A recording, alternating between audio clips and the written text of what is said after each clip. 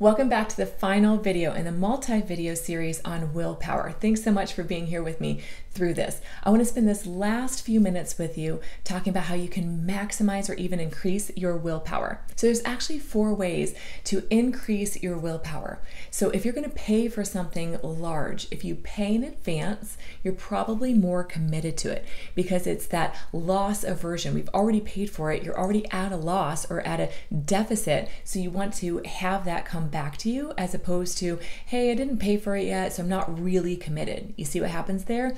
So if you want to do something major, take on something big, pay in advance, and that will help you to be more committed to that goal.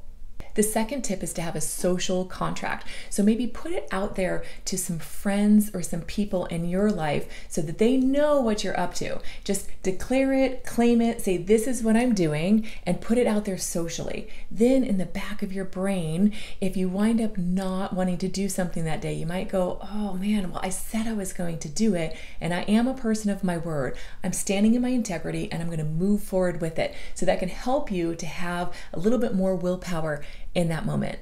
Next idea is to have a coach, life coach, business coach, friendly coach, whatever you want to call it, whoever you need for where you need some assistance in your willpower development.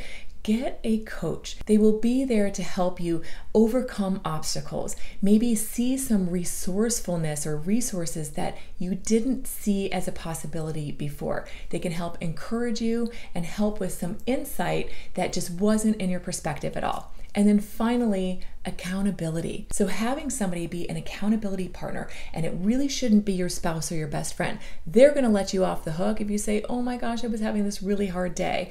You need somebody who's going to show a little bit of tough love, right? They want the best for you. You're saying that you want this. Have them hold you accountable and be okay with how they speak with you about keeping you accountable. So maybe set those terms in advance. If you are um, really sensitive, you don't want somebody yelling at you or telling you that you made the biggest mistake because you didn't do that. Not a way to help encourage.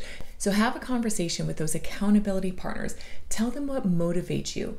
Tell them what helps keep you going. Tell them how you need to be spoken to so that you'll receive their accountability teachings as opposed to shaming you or making you wrong because you hear them a certain way.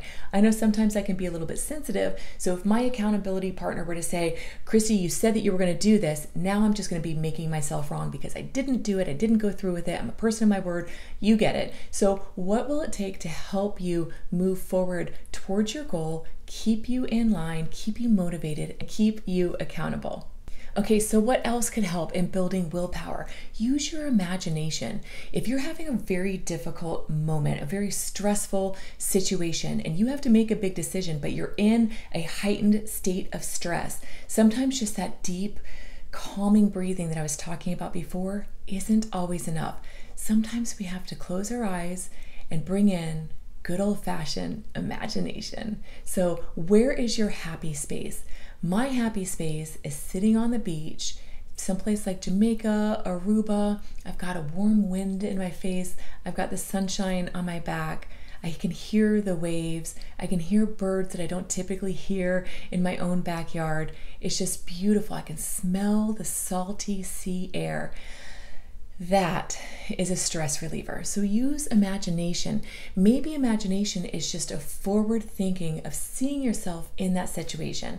So if your goal is to lose 50 pounds, see yourself slim and trim and healthy and 50 pounds smaller in the clothes that you desire to wear if it's making more money or finishing school, see yourself on the other side of those goals. See yourself out of school and in the career choice that you've been working so hard towards, or in that promotion or in that um, income space that you're striving to get towards. See yourself in it, feel yourself in it. And that can help you with that willpower to keep motivated and focused on your long term goals and find a way to laugh. Laughing raises your cortisol levels, and that helps when it comes time for big decisions.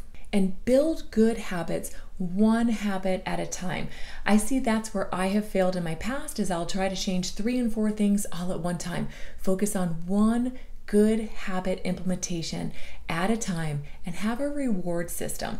So if you just went and spent 30 minutes on the stepper or an hour working out or you know you wrote your book for 30 minutes or whatever your goal is that you're trying to accomplish, make sure that there's a reward at the end because if you don't reward yourself, it's just hard work. So we need to be able to gift ourselves, reward ourselves and pleasure ourselves for that hard work that we put towards and sticking towards that goal where willpower had to show up and plan ahead of time. Plan for your food, plan for your alcohol, plan for your spending. Whatever it is that your focus at that moment for that good habit implementation, have a plan of attack in advance. So if this is going to happen, then this is what I'm going to do. Because when you go to face it, it's less willpower that you're um, counting on to show up. You've already got a plan and a decision made, and so you don't have to expend all of your willpower on this one decision because you've pre planned for it. And then once those good habits are created, it's routine. You no longer have to draw on willpower in order for those decisions to be made, they just kind of fall into place once it's a habit. And last thought I'd like to share with you is sometimes it's not a lack of willpower. Sometimes it's this goal is so massive and large, the enormity of it can keep you stuck. You don't know where to start. So chunk it out into small little pieces. If you have a goal to lose 50, maybe start off with 5 and then 10 and then build from there. When you're able to chunk it out, it does help to remove that willpower depletion. You're not going to feel so exhausted from making all of those decisions. And you'll be able to celebrate those little successes all along the way. You've got this. I'm so happy for you. And thank you for being part of this series. I hope you had some really amazing takeaways. If you don't mind, put in the comments what is your favorite takeaway from this entire series. That one thing that knowing it now, moving forward, will have a long lasting impact, a positive impact in your life. Thanks so much for being here with me. And until next time, my friends, stay well.